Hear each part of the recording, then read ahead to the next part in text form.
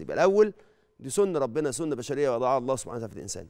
الحاجة الثانية لا دي مش سنة ده إيه اللي حاصل؟ ده شيء موجود في طبائع الأشياء. إن إيه في طبائع الأشياء؟ إن الإنسان إذا استطاع ببساطة خالص إن هو يقوم بهذا الأمر سيسهل عليه إن هو يشكر الله. وإذا صعب عليه إن هو يشكر الناس سيصعب عليه أن يشكر الله وكأنها مسألة تتعلق بالعبادة. يبقى ده في طبائع الإنسان وده في طريقة عبادة الله سبحانه وتعالى. يبقى اللي هيسهل عليه أن يشكر الناس هيسهل عليه إن هو يشكر الله. طب والمدخل الثالث بيقول إيه؟ بيقول يا جماعة إن إحنا في مسألة شكر فضل الناس عليك شكر فضل الناس عليك. الله سبحانه وتعالى جعله في الحياة باب من أبواب مكارم الأخلاق. والله سبحانه وتعالى يحمد لك أن تشكر الناس كما يحمد لك أن تشكره. فهذه صفة وكأنها عبادة. طب وإذا ما عملتهاش يبقى أنت معرض عن هذه العبادة. إيه هذا ال... إيه هذا النسيج وإيه هذه الحضارة اللي بتجعل جزء أساسي في حياتنا يخلينا نحس بالأمان. إيه أكتر حاجة ممكن تحسس وأسهل حاجة ممكن تحسس الناس بالأمان دلوقتي؟ صفة في الإنسان غايبة عن كتير مننا اسمها فضيلة الامتنان. أن تمتن للناس.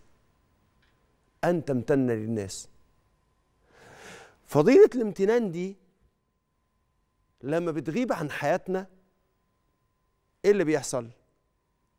القلوب بتقسو. قلب الشخص اللي كان المفروض يمتن بيقسو ويعتبر نفسه مستحق للحاجات اللي بيقدمها له الناس.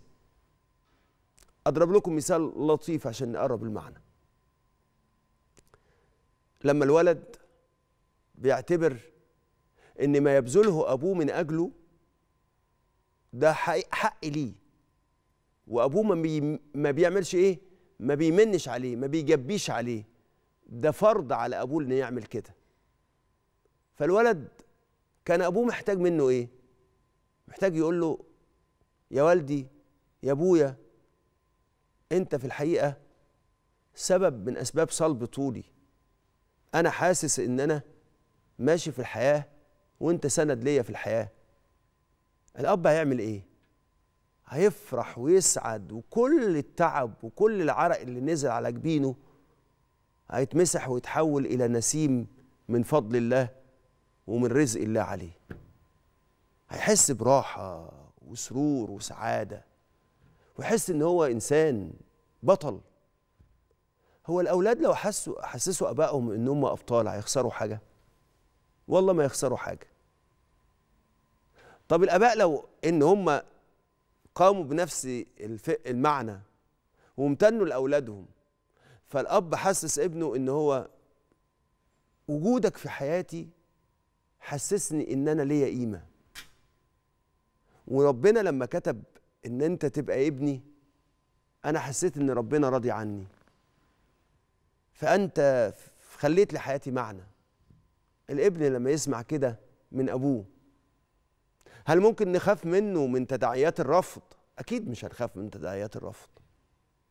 ساعتها الابن هيكون في الحقيقة في غاية الثقة بالنفس لأن هو كأنه هنا بقى اللقطة اللي أنا عايز أقولها. هنا الملمح اللي أنا عايز أقوله. هنا الجانب الحضاري اللي جاي في الحديث.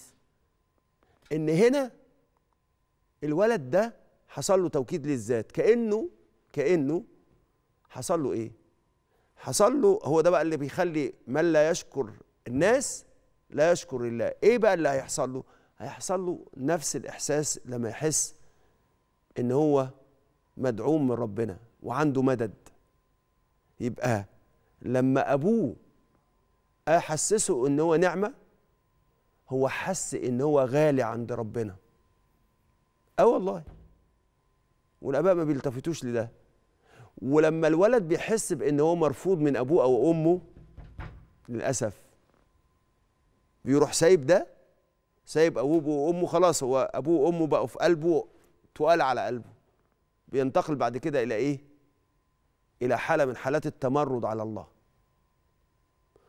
وإحنا في ملف هنتكلم عنه. ملف السيولة الدينية اللي بعض الناس بي بيحاولوا يسموه الإلحاد. أنا بحب أسميه السيولة الدينية. فيترتب على ما يقوم به الأب مع ابنه من عدم شكر نعمة ربنا بإن هو بقى عنده ابن يترتب عليه إن الابن يعمل إيه؟ يبقى عنده السيولة الدينية اللي إحنا بنتكلم عنها ويبقى متمرد على الرب ويقول لربنا هو أنت ليه رزقتني بأب كده؟ ويحس إن هو عنده عداء مع كل سلطة عليا عنده ويحس إن هو مش مرتاح ومش مبسوط. للأسف. تعال نشوف بقى البنت مع أمها. لو ما فيش امتنان ما بين البنت وأمها مثلا البنت تحس بإيه؟ البنت تحس بإن أمها ساعات هي مش شايفاها أنثى كاملة.